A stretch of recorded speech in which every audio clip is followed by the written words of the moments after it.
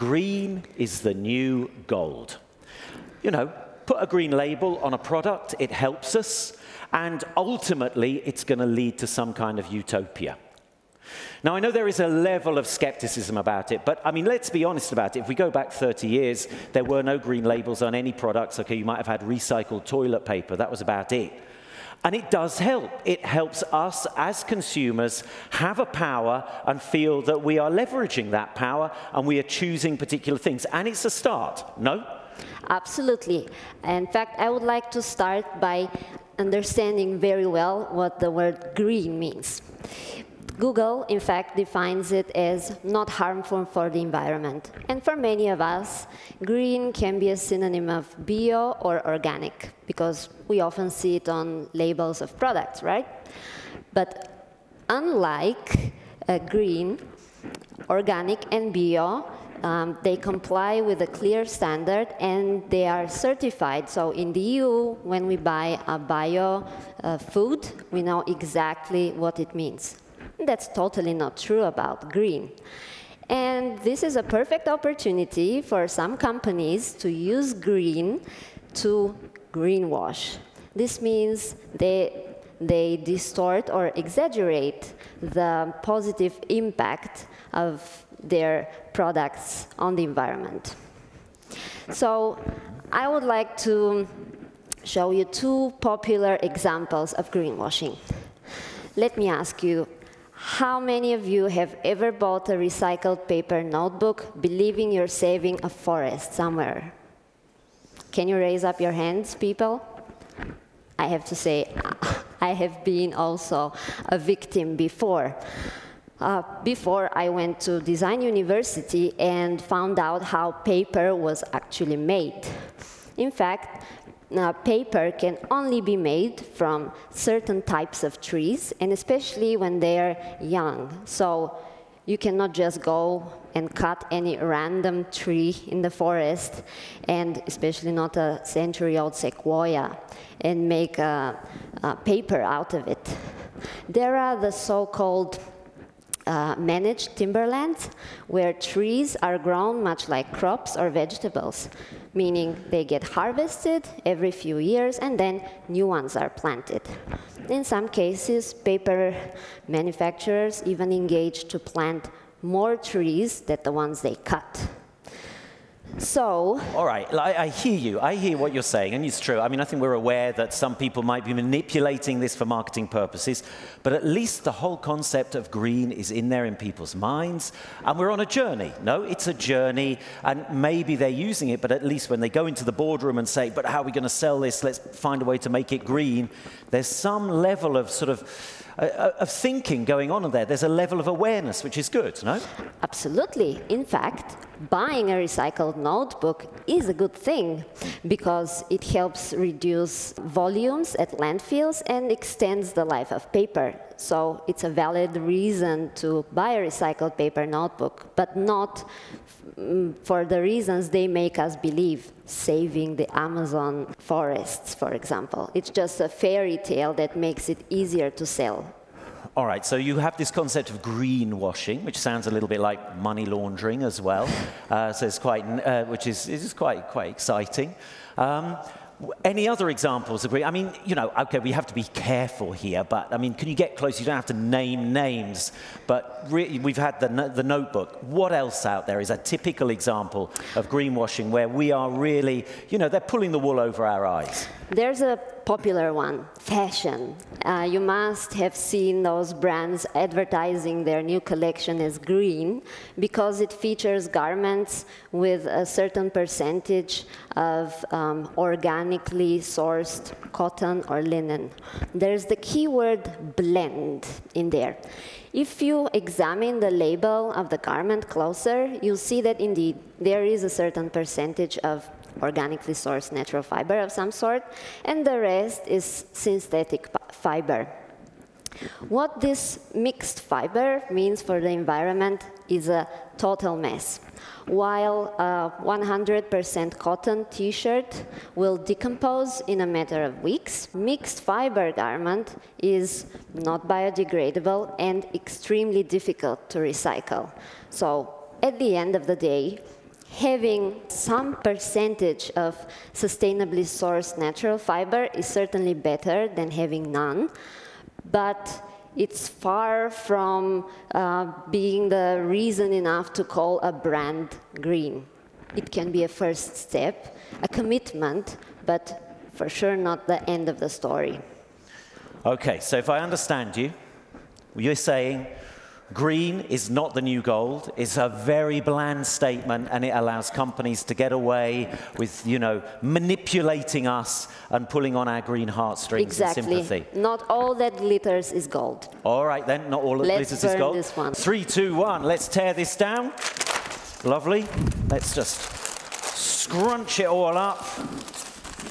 And that's number one done with. So, this myth should be burnt. So that's myth number one. The next one, go vegan in materials. Okay, now this is one I think you're going to have a difficulty with, really. Because, agree. All right, off you go. You go first, and I'm going to come back at you, okay? That's a tough one, but let's again start the same way. First, understand exactly what we're talking about. So, vegan, in the context of nutrition, we all know, is a diet that excludes any animal deriving foods and focuses only on plant based foods. So far, so good, right? Well, let's then take this definition and apply it to materials. Then, a vegan material would be animal free and plant based. And this is where a lot of confusion is created on the market today. Well, now I'm going to do something that's counter logic. I'm actually going to share with you some great vegan materials that I believe in. For example, vegan leather, that's the most uh, widely used animal deriving material, right? So vegan leather is plant-based and nowadays there are many startups out there that are doing great work experimenting with pineapple leaves mushrooms cactuses um, grape um, waste corn waste among many others these materials do have a lower environmental impact and they're uh, easy to decompose. The challenge with these materials is that they still need to get better in performances to match real leather in terms of resistance, durability, and so on. There is some people also argue that, okay, but what if we start, we, stop using real leather and we start uh, just planting corn um, because we want to make uh, vegan leather out of it? It's going to still have a huge environmental impact. Yes, that's absolutely true. In fact, what I favor are um, vegan leathers that work with waste. So material that otherwise will not be used in any way. So they're not adding anything, any um, extra weight to our planet, but they're using what would otherwise be just thrown away. All right, hold it there because I get you. So just saying, let's go vegan, this is a vegan-based material is not enough. It's, it's, it's got to, it's got to be, go full circle. But let, let me, before, because I know you've got a lot of arguments there, but let me, let me just get a show of hands. Who here would buy a fur coat, brand new? Put your hands up. I don't see any hands in the air there.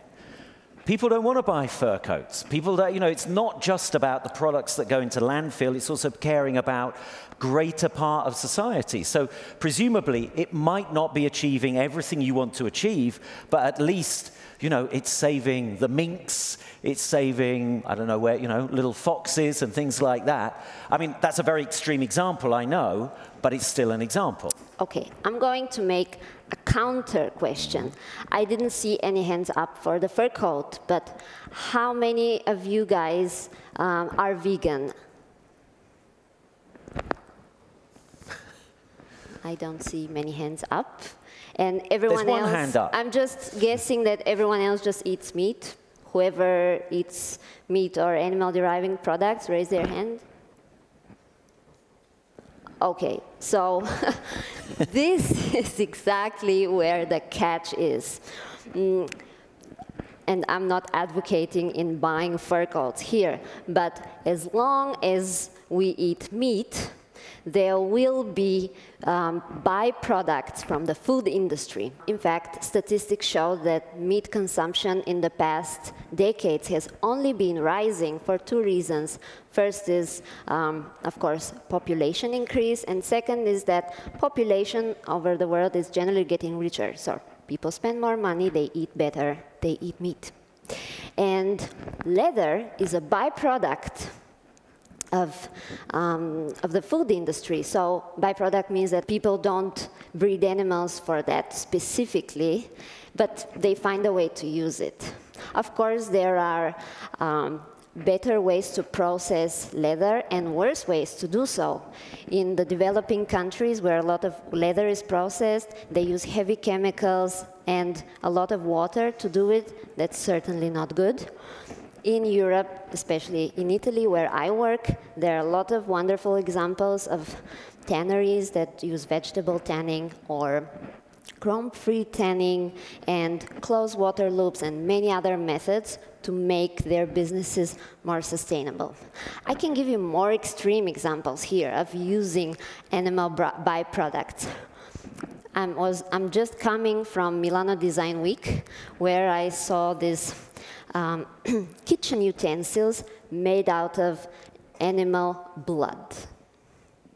I know it sounds creepy. I know it sounds gross.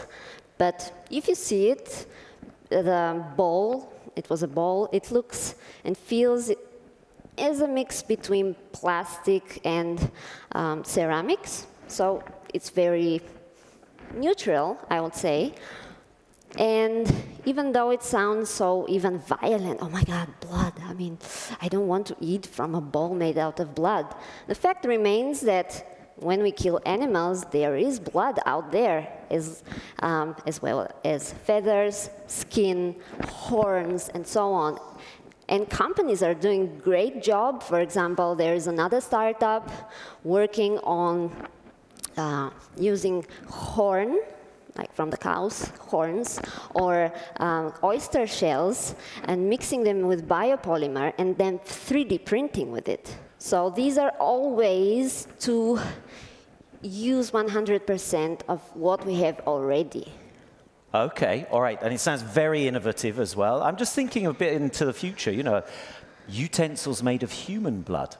I mean, that could help vampires, for example, couldn't it? You know, you wouldn't have to go yeah, out it's at midnight. Not, it's not a good marketing story so far, but I believe it has future. All right then. Okay, so three, two, one. Let's tear that one down. Excellent. So, no more vegan materials. This myth should be burnt. So, this one is one that I have um, issues with myself, so I think uh, I'm a little bit closer to you on this one already. Sustainable sources equals sustainability, and it's a word that is flashed around everywhere. Everybody is talking about sustainability, and I really think that we do not understand it too much. But I myself, I would, I would follow that word. I'm heavily attracted to that word, probably even more than green, because I think, yeah, this is something where I'm doing something really worthwhile and valuable. Yeah, for this one sounds plausible. And in order to expose it, I would like to take you on a journey. That's the journey of, of, my profession, basically. As a color and material designer in the automotive field, one of my goals is to research and introduce new sustainable materials. So let's imagine that Together, we find this great new sustainable vegan leather, let's say. It's made out of corn waste, so no extra corn is being grown out there for it. So let's take it and apply it to a car seat and take it to production. This is what, what's going to happen. So st step number one is optimizing this vegan leather in order to make it um, compliant with all the regulations and of quality and safety. Um, this means that, of course, you don't want your black car interior fading out in a few months, or your dashboard getting all crinkled um, after a few days under the hot summer sun, right? So in order to achieve this high performance of the material, we would need to add different layers of coating to uh, make it more fire retardant, abrasion resistant, and so on. This, however, will decrease its ability to decompose. But it will serve to make a, a more long-lasting car, right? Because if we start uh, ditching our cars every few months, that's certainly not sustainable. So we are working towards a product that's as high quality as possible that can endure a lot. Okay, then once the uh, vegan leather is ready, we're going to upholster it into a cover and wrap it onto the foam. To make it simple, the foam is a plastic-based material. A very popular in the industrial uh, process, it's called bonding, putting this um, vegan leather cover and foam together. Bonding is, puts them together so tight that they become inseparable and they uh, become unable to recycle. This is a process that's, for example, very good for airbag deployment, so safety, certainly primary focus for a car, but again, will create difficulties at the end of the life. And that's not the end. Then we take our bonded um, foam and upholstered cover and put it on the structure. It's a metal structure which also has some plastic components like switches and um, electrical cables. This is what, generally speaking, a seat is made from. And keep in mind that a seat is just one of the many complex components in a car. And what happens at the end of the story even though we started, yes, with a sustainable sourced, real nice material, we still end up with a seat that's presenting a lot of issues in terms of recycling and sustainability in general. So from this little thought experiment, I would like to have two important takeaways. First is that sustainable sourcing is good, it's important, it's a first step, but it's not enough. Because as long as we have a linear mindset of make, use, and dispose, problem with sustainability will go on. We need to transfer to circular way of thinking, to circular economy, where at the end of the life of a product, it can be separated into its materials, which can be then reused or recycled. And my important second takeaway is that design today is about sustainability. It will be more and more about sustainability, but it's not our only criteria. We also have to make sure that products meet quality requirements, um, safety, and also cost efficiency, because even if we were to come up with this great sustainable car that costs three times as much as its competitors in the segment, you may be real sustainability enthusiasts, but probably you're not going to be able to afford it, so it doesn't make any marketing sense. So it's all about making compromises and meeting in the middle. So if I understand you, it should be 360 sustainable. Yes. It's got to go in one yes. full circle, and then it's a sustainable sourced product, and it means something for the environment, whereas this, this means nothing if it's just sustainable. Yeah. Three, two, one, let's take that down. Okay. So a new insight into the word sustainability. This myth can also now be burnt. All right, we've gone through these three myths, okay, but I, I, think one of the reasons why a lot of people have come along here is because they are actually interested in leveraging their power as consumers.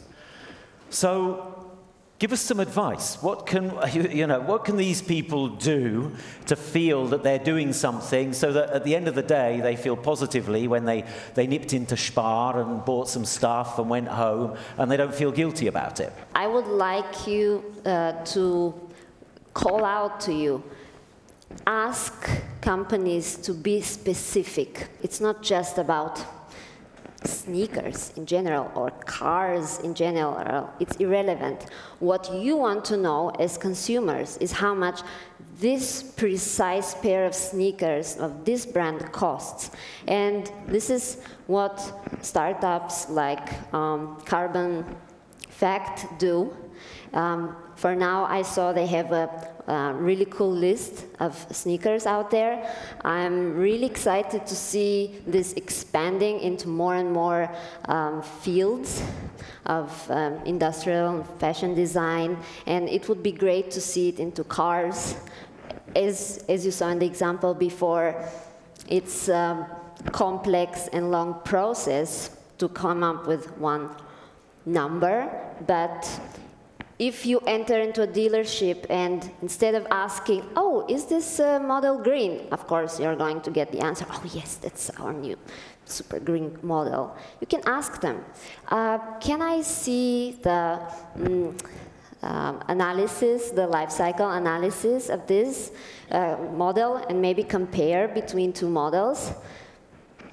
This is where we get specific. Okay, so you're actually asking, you, we can actually push back. And after a while, these people in the car showrooms uh, rooms where they will start th saying, hey, we've got issues here with this, we need to know more about it, and they'll push back, and that's another way of influencing. That's what you're saying. Yes. And just before we go, because we're right at the end of time, what things can we look for now? I mean, you mentioned bio. Bio's good, okay? Is it organic? Organic's good. We should go for that. Yes, because we already have legislation for that. And I'm also calling to uh, policymakers to stand up and make more clear legislation for products, not just foods. Thanks very much. Let's give a big round of applause Thank you, to everyone. Tereza Nikolova. Thank you.